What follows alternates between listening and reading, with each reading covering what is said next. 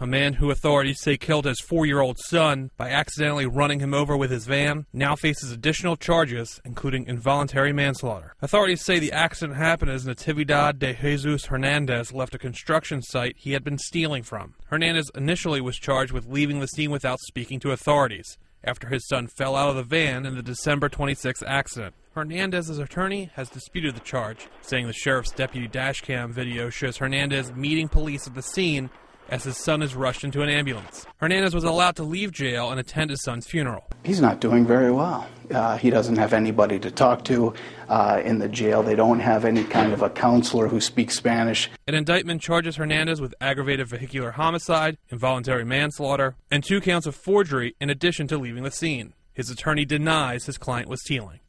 Bob McCall, Associated Press.